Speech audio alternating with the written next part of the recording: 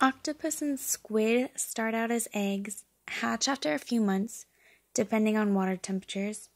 and then the hatched larvae swim to the surface, float around eating everything they can until they have heavy enough until they are heavy enough to sink to the bottom where they live